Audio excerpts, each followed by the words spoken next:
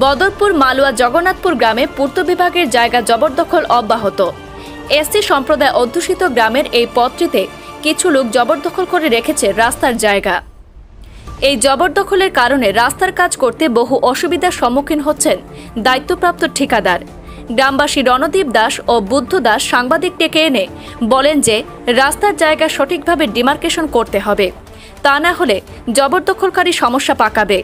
তাই ডিমার্কেশন করে কাজ আরম্ভ করার জন্য বিভাগীয় কর্তৃপক্ষের কাছে অনুরোধ জানান তারা। উনিশ ফুট ওই রকম আছে। মেঘ আছে।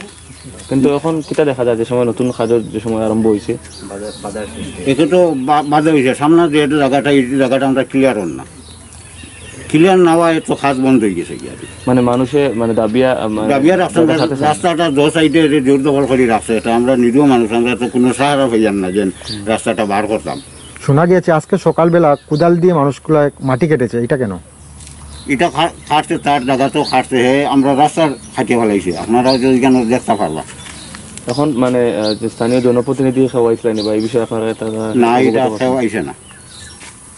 আপনার যে আপনারা এখন কিটা চাইন সরকারের কাছে বা বিভাগীয় কর্তৃপক্ষের কাছে যেহেতু পিডাব্লিউডির রাস্তা যেহেতু। এটা এটা আমরা চাই আর এটা আমরা ডিমার্কেশন এরিয়ারে খাসতে হইতো আমরা রাস্তাটা সুন্দরভাবে আমরা কোনো খেরোর জায়গা চাই আর আমরা চাইতো যে রাস্তা এই রাস্তাটুকু আমরা লাগে।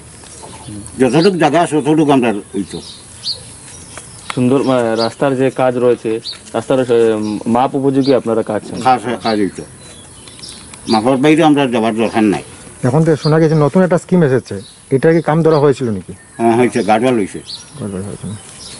মানে বিগত বর্ষে যেটা দুই হাজার বারো তেরোর যেটা স্কিম বলেছেন তো এটা তারপর আপনারা কি কোনো প্রতিবাদ করেননি? প্রতিবাদ করেছি কোনো সাহারা পাইছি না। আমরা অনেক জায়গা গেছি অনেকে দরখাস্ত দিয়েছি গৌহাটি গেছি তখনও কোনো সাহারা পাইছি না আমরা।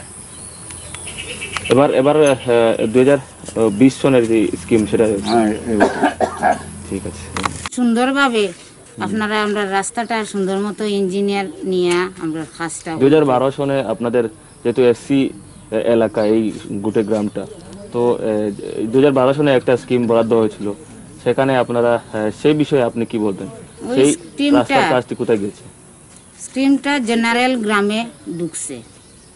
ওই স্ক্রিমটা জগন্নাথপুর ঢুকছে না ইয়া। হ্যাঁ, এটা আমি কিছু কিছু জানছি জানার কারণে আমি এটা কইছি। তার আট বছর পর যেহেতু আবার আইলো মানে নতুন স্কিম নতুন স্ক্রিম তখন কি তা অসুবিধা দেখা দিচ্ছে এখন তো অসুবিধা দেখা দিচ্ছে রাস্তার কাজটা অন না। অন না বা রাস্তাও সাইডে দিয়ে খাটাখাটি চলে সবের জায়গা ছাড়িয়েও দেন না কেউ ছাড়িয়ে দিলে। মানে বাধা দেওয়া মানে বাধা বাধা বিঘ্ন পড়ে রাস্তাটা ঠিক মতো অন। যেহেতু সরকারি জমি তো সরকারের কাছে বা বিভাগীয় কর্তৃপক্ষের কাছে কিতা অনুরোধ করব আপনি? অনুরোধ যে সবার কাছে আমার যে রাস্তার লাগে বহুত মানুষে তার বাড়ির জায়গা থাকলেও ছাড়িয়া দিলে। কেউ তার জমি থাকলেও ছাড়িয়ে দিতে রাজি হয় না। এটার লাগে সবার কাছে আমার অনুরোধ রইল যে রাস্তাটা সুন্দর মতো সবে মিলিয়া এটা রাস্তা সুন্দর মতো করিয়া দিবার লাগে। কালীগঞ্জ থেকে ইমরানা বেগমের প্রতিবেদন তরঙ্গ টিভি।